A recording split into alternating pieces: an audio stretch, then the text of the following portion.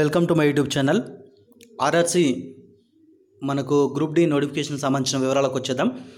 ఇది మనకు పన్నెండు మూడు రెండు వేల పంతొమ్మిది నుంచి ఆన్లైన్ అప్లికేషన్ ప్రారంభించబడి ఈ రోజుతో అంటే పన్నెండు నాలుగు రెండు వేల పంతొమ్మిది నైట్ లెవెన్ ఫిఫ్టీ నైన్ వరకు మీరు రిజిస్ట్రేషన్ చేసుకోవచ్చు. ఈ ఈ టైం వరకు ఎవరైతే రిజిస్ట్రేషన్ చేసుకుంటారో వాళ్ళకు మాత్రమే అప్లై చేసుకునే అవకాశం అనేది ఉంటుంది. సో ఇప్పుడు రిజిస్ట్రేషన్ చేసుకున్న వాళ్ళకి ఎటువంటి అవకాశం అనేది ఉండదు.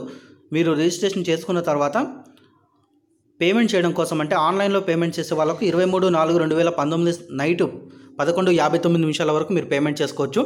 ఒకవేళ ఎస్బీఐ బ్యాంక్ చెల్లాన్ చేసే వాళ్ళు లేదా పోస్ట్ ఆఫీస్ చెల్లాన్ చేసే వాళ్ళకు పద్దెనిమిది నాలుగు రెండు వేల పంతొమ్మిది మధ్యాహ్నం ఒకటి గంటల వరకు మీకు అవకాశం ఉంటుంది.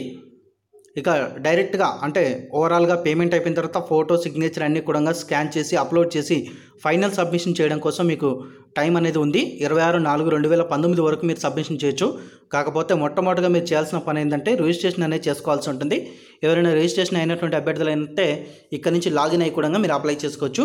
కానీ ఈరోజు చివరి తేదీ అండి రిజిస్ట్రేషన్ రిజిస్ట్రేషన్ కోసం రిజిస్ట్రేషన్ పార్ట్ ఈ పార్ట్ చేసేసిన చేసేసినట్లయితే మిగతా ప్రాసెస్ అనేది తర్వాత కూడా చేసుకోవచ్చు. నేను మొట్టమొదటిగా ఎలా రిజిస్ట్రేషన్ చేసుకోవాలో ఇప్పుడు చూపిస్తాను. న్యూ రిజిస్ట్రేషన్ ఇక్కడ కనిపిస్తుంది రెడ్ కలర్లో లెఫ్ట్ సైడ్లో. దాని మీద నేను క్లిక్ చేస్తున్నాను. న్యూ రిజిస్ట్రేషన్ ఓపెన్ అయిపోతుంది. ఇక్కడ కమ్యూనిటీ సెలెక్ట్ చేసుకోవాలండి మీరు. ఎస్సీ అయితే ఎస్సీ ఎస్టీ అయితే ఎస్టీ అన్రిజర్వ్డ్ అయితే అన్రిజర్వ్డ్ ఓబీసీ అయితే ఓబీసీ ఓబీసీలో మళ్ళీ నాన్ క్రిమిలేర్ ఉంది క్రిమిలేర్ ఉంది. తర్వాత ఈడబ్ల్యూఎస్ కింద అప్లై చేసినట్టే ఈడబ్ల్యూఎస్ అయినా అప్లై చేసుకోవచ్చు. క్లిక్ ఇచ్చుకోవాలి. నేను ఇక్కడ ఓబీసీ మీద ట్యాప్ చేస్తున్నాను. తర్వాత ఎక్సర్విస్మెన్ అయినట్లయితే ఎస్ ఇవ్వండి. కాదనుకుంటే నో ఇవ్వండి.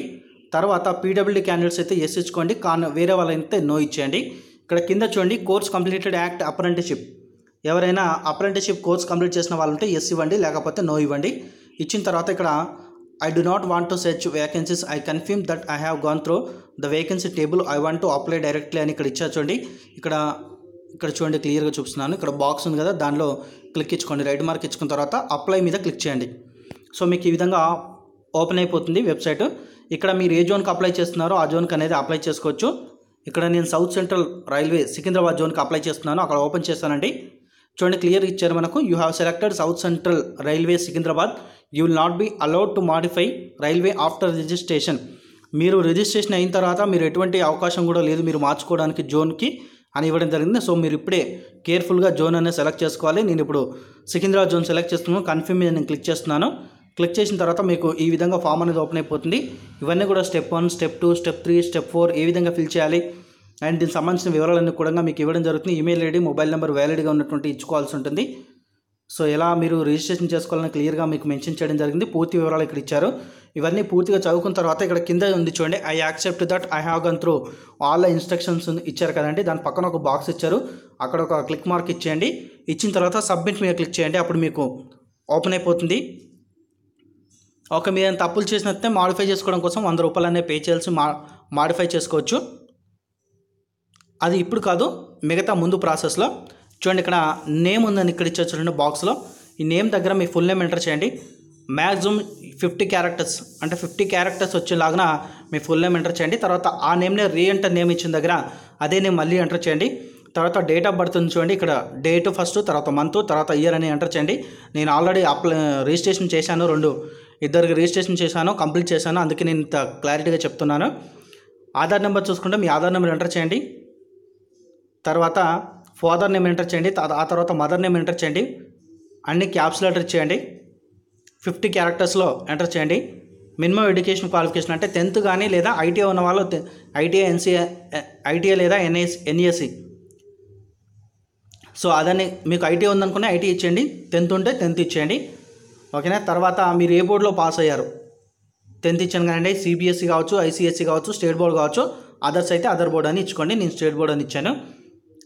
సో మీది ఏ బోర్డ్ అయితే ఆ బోర్డు ఇచ్చేసుకోండి ఓకేనా? టెన్త్ రిజిస్ట్రేషన్ నెంబర్ అంటే మీ రిజిస్ట్రేషన్ మీ హాల్ టికెట్ నెంబర్ ఎంటర్ చేయండి. తర్వాత మీరు ఏ సంవత్సరంలో పాస్ అయ్యారో అది ఎంటర్ చేయండి. తర్వాత మొబైల్ నెంబర్ ఎంటర్ చేయండి. తర్వాత అదే మొబైల్ నెంబర్ మళ్ళీ రీ ఎంటర్ చేయండి. వి ఈమెయిల్ ఐడి ఎంటర్ చేయండి. అదే ఈమెయిల్ ఐడిని రీ ఎంటర్ చేయండి. తర్వాత ఇక్కడ సెక్యూరిటీ కోడ్ అని ఇచ్చారు. అది ఎంటర్ చేసిన తర్వాత డిక్లరేషన్ చూడండి. I hereby declare that I have carefully and correctly filled my registration data and railway and understand that I will not be able to modify this data and railway after submission అని ఇచ్చిన దగ్గర click mark ఇచ్చేసి submit అనేది చేయాల్సి ఉంటుంది. Click mark ఇచ్చిన తర్వాత submit కొట్టగానే మీరు ఒకసారి ఎడిట్ చేయమని మళ్ళీ ఒకసారి చూపిస్తున్న డీటెయిల్స్ కన్ఫర్మ్ అని క్లిక్ చేస్తే మీకు ఆటోమేటిక్గా మీకు వేరే పేజ్ అనేది ఓపెన్ అయిపోతుంది. ఆ పేజ్లో ఏంటంటే మీకు రెండు ఓటీపీలు ఎంటర్ చేయమని అడుగుతుంది. పైన ఈమెయిల్ నుండి వచ్చినటువంటి ఓటీపీ కింద మొబైల్ నెంబర్కి వచ్చినటువంటి ఓటీపీ రెండు కూడా ఎంటర్ చేసి వ్యాలిడేట్ మీద క్లిక్ చేసిన మీకు అప్లికేషన్ అనేది కంప్లీట్ అయిపోతుందండి. ఓకేనా? తర్వాత నెక్స్ట్ ప్రాసెస్కి వెళ్ళిపోతారు రిజిస్ట్రేషన్ అయిపోతుంది. మీరు ఇప్పుడు ఇక్కడ సబ్మిట్ చేయగానే మీకు ఆల్రెడీ రిజిస్ట్రేషన్ నెంబర్ వస్తుంది. కాకపోతే మీరు ఓటీపీలు ఎంటర్ చేసి వాలిడేట్ చేస్తేనే మీరు ముందుకు వెళ్ళగలుగుతారన్నమాట. సో ఇది వీడియోకి సంబంధించిన ఇన్ఫర్మేషన్. మీకు ఈ వీడియో కనుక నచ్చితే లైక్ చేయండి తప్పకుండా వీడియోని షేర్ చేయండి. Thanks for watching.